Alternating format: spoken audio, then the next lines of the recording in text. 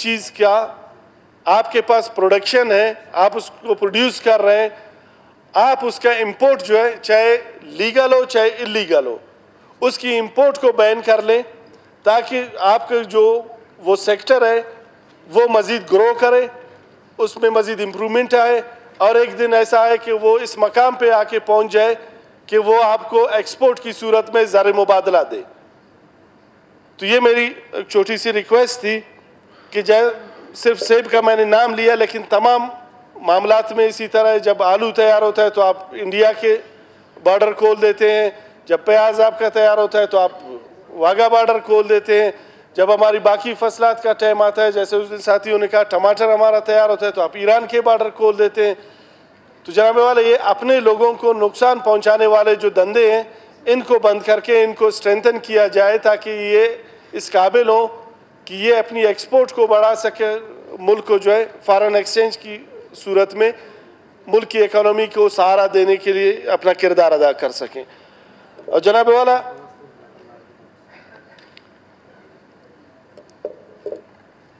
अब मैं आता हूँ साहिल और वसाइल के हवाले से। जनाब वाला, इस अगस्त हाउस की एक तो मेरी आपसे भी रिक्वेस्ट है जनाब वाला। कि इस हाउस का इज़्ज़त, इसका तकदस इसकी अहमियत, इसकी अफादियत, ये आप हजूर वाला के हाथ में है। उस दिन भी ये बात यहाँ पे डिस्कस हुई जनाब वाला। इस कमेटी, हाउस की एक कमेटी भी है जो इन चीज़ों को देखती भी है, जिसको इम्प्लीमेंटेशन कमेटी भी कहा जाता है, उसमें भी डिस्कस होती हैं चीज़ें कि इस हाउस से जो भी फरमान जारी होते हैं आया वो फरमान, उन पे अमल दरामद किस हद तक हो रहा है? यहाँ से जितने रेजोल्यूशंस जाते हैं, उन रेजोल्यूशंस को ने आज तक कोई फॉलो अप उनका लिया है? उन पे किस हद तक अमल दरामद होता है? फेडरल के हवाले से जितने रेजोल्यूशंस हैं, उनका क्या फॉलो अप है? जबकि प्रोविंशियल गवर्नमेंट के हवाले से जितने भी रेजोल्यूशन यहाँ से पास होते हैं मैं समझता हूँ ये ज़िम्मेदारी बनती है सूबाई हुकूमत की, चूँकि वो भी इस हाउस का हिस्सा है। तो ये उनकी भी ज़िम्मेदारी बनती है, बल्कि उनके फ़रज़ में ये आ जाता है कि वो उस पर मन वन अमल दरामद करके इस हाउस को अपनी रिपोर्ट सबमिट कर लें। जनाब वाला, आज से काफ़ी अरसा पहले हमें पता था कि ये दिन आने वाले दिनों में हमें देखना पड़ेगा, ये दिन हमारे लिए आएगा। इसलिए हमने यहाँ पे अपोजिशन के एक तहरीक अल्तवा लाए और सेंदक के मामला और रिकॉर्डिक के मामला और बलुस्तान के मादनियात के मामला को हमने यहाँ पर डिस्कस किया था।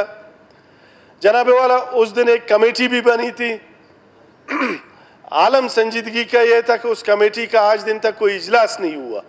एक इजलास यहाँ पे कई मरतबा आप जनाब को यकीन याद दियानिया करा करा के कोई दस पंद्रह मरतबा उस कमेटी को बनने के बाद जब हमने बार बार उस मसले को यहाँ पे हमने उठाया तो एक मीटिंग उसकी कॉल की गई हमारे कमेटी रूम हॉल में। उसमें भी संजीदगी का आलम यह था कि गवर्नमेंट ट्रेजरी बेंचेस के जितने मेम्बरान थे, उनमें से सिर्फ़ एक साथी हमारा आया था।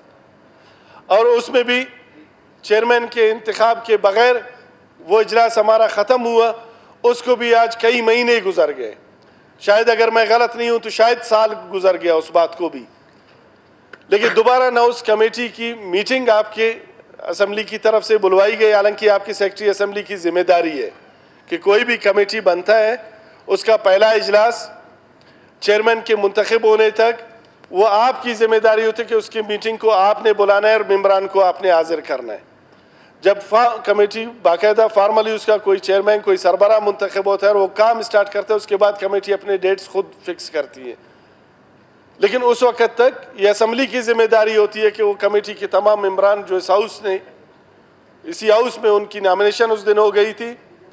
उनको आज तक मैं खुद उस कमेटी का मेंबर हूँ, मुझे आज तक असम्बली की तरफ़ से दोबारा उसे एक मीटिंग के बाद दोबारा कभी कोई कॉल नहीं आई कि जी, इस कमेटी की मीटिंग ये होनी है। इसका चेयरमैन मुंतखब करना है और संदक के इशू को आपने इस कमेटी ने आपकी ज़िम्मेदारी असम्बली ने दी थी, जनाब स्पीकर साहब ने दी थी, मोजेज़ ऐवान ने दिया था, उसको आप लोगों ने डिस्कस करके ऐवान में रिपोर्ट आपने देना है। आज दिन तक मुझसे किसी ने कोई रबता नहीं किया। जनाब वाला अगर उस दिन वो कमेटी संजीदगी से इस पर काम करता, आज यहाँ पे दोबारा हम इस मसले को नहीं उठा रहे होते। आपके पास जनाब वाला माइनिंग रूल्स आपने अभी तक अप्रूवल नहीं किए हैं अपने। आपने उन तमाम चीज़ों को बिल्डोज करके, इस हाउस को बिल्डोज करके, किस अथॉरिटी के तहत? अठारहवीं तरमीम के बाद ये हमारे एसेट्स हैं। अठारहवीं तरमीम के बाद ये प्रोविंशियल गवर्नमेंट का राइट है कि वो खुद निगोशिएट करे। एक टेलीफोन कॉल पे, एक व्हाट्सएप की मैसेज पे मनोवन जो कुछ आपके पास लाकर आपके सामने रख दिया, आपने आँखें बंद करके उस पर दस्तखत करके, आपने फिर पंद्रह साल के लिए हमारे बलूचिस्तान के लोगों के वसाइल को, हमारी दौलत को, हमारे सोने, चांदी, तांबे के ज़ख़ायर को, आपने उस कंपनी के हवाले किया। जनाब वाला, जिसको जो टारगेट दिया गया था, उस टारगेट से अपने दस गुना ज़्यादा वहाँ पे माइनिंग करके, माइनिंग रूल्स को वायलेट करके दिन और रात उसने वहाँ पे 24 घंटे माइनिंग की। हालाँकि आपके माइनिंग रूल के मुताबिक दिन की रोशनी में सिर्फ़ आप माइनिंग कर सकते हैं, जनाब स्पीकर नाइट शिफ्ट उसमें है ही नहीं। अगर कोई नाइट शिफ्ट में माइनिंग करता है, इसका मतलब ये है कि वो वायलेशन कर रहा है। तो इन्होंने डाकाजनी की है बलूचिस्तान के साथ। इन्होंने बलूचिस्तान के वसाइल को दिन और रात लूटा है। और इस गफलत, इस मुजरमाना गफलत में हम यहाँ की गवर्नमेंट और बलूचिस्तान के लोग भी शामिल हैं कि उन्होंने कभी उनसे नहीं पूछा। क्या कभी सूबाई हुकूमत ने एम डी सेंदक को बुला के यहाँ पे पूछा कि हमारे जो, जिस बेदर्दी के साथ हमारे सोने और तांबे को लूटा जा रहा है, हमारे चांदी के ज़ख़ायर को लूटा जा रहा है, आप एम डी सेंदक की ज़िम्मेदारी क्या बनती है? किसी ने भी उनसे नहीं पूछा, जनाब वाला, हमने फ्री एंड दिया चाइनीज़ को। दस गुना ज़्यादा जितने का हमारा एग्रीमेंट है उनके साथ, यही तमाम चीज़ें वो थी जो उस कमेटी में डिस्कस होनी थी। कि आपके साथ एग्रीमेंट कितने का था, आपके कितनी क्वांटिटी का एग्रीमेंट था आपके साथ, कितना क्वांटिटी आप ले जा चुके हो। ये जो माल जा रहा है, इसका आपके पास कोई डेटा इस गवर्नमेंट ऑफ़ बलूचिस्तान के पास है तो जिम्मेदारान बैठे हुए वो इस हाउस में ला के टेबल कर दें। कि आज तक चाइनीज़ कितना, कितनी क्वांटिटी हमारे यहाँ से सोने और तांबे की जखायर का ले जा चुके हैं? कोई डेटा नहीं है जनाब वाला इसके पास। और इसको जब प्यूरिफाई करने के बाद, जो इसमें से सोना और चांदी और बाकी चीज़ें निकलती हैं इस संदक में जनाब वाला ऐसी दातें भी हैं जो सोने और चांदी इन चीज़ों से बहुत ज़्यादा कीमती हैं। जब प्यूरिफिकेशन के बाद, अभी तक हमें तो ये भी पता नहीं है कि इसमें से जो अभी तक संदक से किस मकदार में सोना निकला है।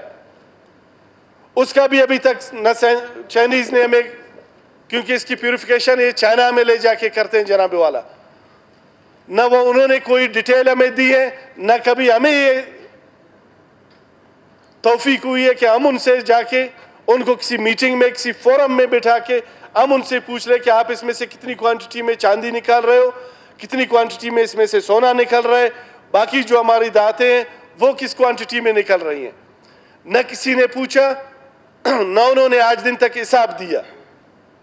इन तमाम मामला के बावजूद, आज हमने रात के अंधेरे में उनको बुला के बगैर किसी कंसल्टेशन के, बगैर इस हाउस को अतमाद में लिए, बगैर बलूचिस्तान के लोगों को अतमाद में लिए, हमने फिर उनके साथ पंद्रह साल का एग्रीमेंट साइन कर दिया।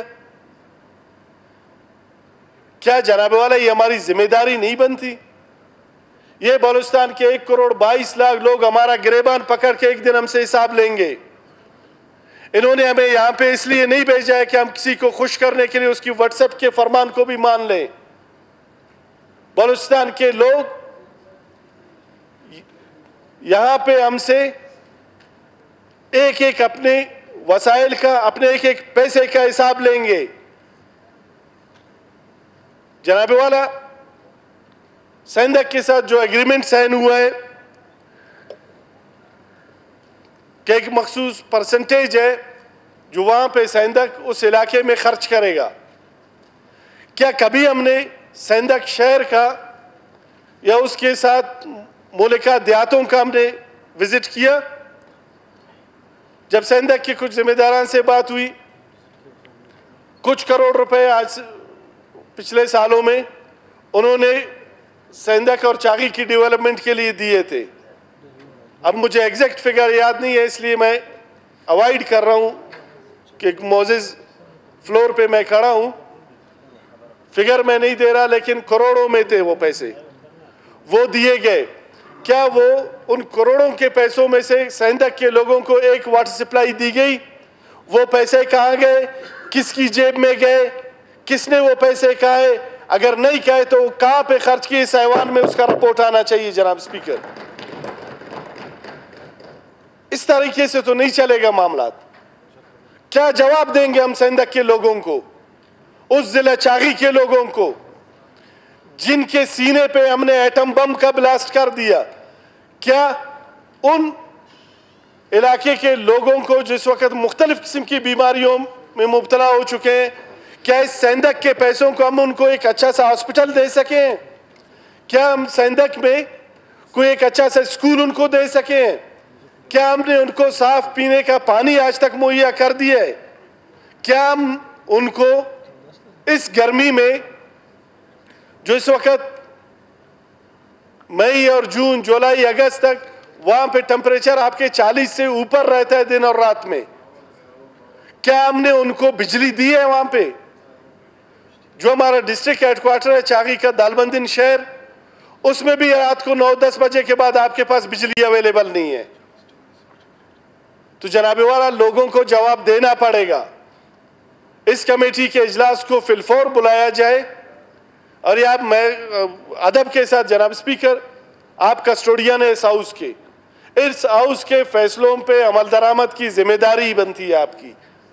आप गवर्नमेंट को पाबंद कर लें इस चीज़ पे कि उस कमेटी का इजलास फ़ौरन बुला के, इन तमाम चीज़ों को जेर बहस ला के, एक टाइम फ्रेम इनको दे दें, ताकि इस हाउस में जो है हम वो रिपोर्ट इस हाउस में टेबल हो ताकि बलूचिस्तान के लोगों को पता हो कि उनके वसाइल के साथ, उनके हकूक़ के साथ, उनकी इस गुर्बत और उनकी इस पसमानदगी के ज़िम्मेदारों के हवाले से उनको इस तमाम चीज़ों का पता होना चाहिए और उस रिपोर्ट को पब्लिक होना चाहिए जनाब स्पीकर, ताकि उनको पता चले कि उनके साथ क्या हो रहा है इस सूबे में। इन्हीं अल्फाज के साथ जनाब स्पीकर, आपका इंतहाई मशहूर हूँ कि आपने मुझे टाइम दिया। और उम्मीद ये करता हूँ कि जो गुजारिशात हमारी थी, ये जो हमारी दरख्वास्त है आपसे, इन पे अमल दरामद होगा और इस पर भी आप मेहरबानी करके एक रूलिंग दें कि उस सेंधक के हवाले से जो कमेटी बनी थी, उसका फिलफौर इजलास बुला के इस मौजूदा एग्रीमेंट और इससे पहले जो सेंधक के मामला थे उन तमाम को जेर बहस ला के इस ऐवान में रिपोर्ट सबमिट की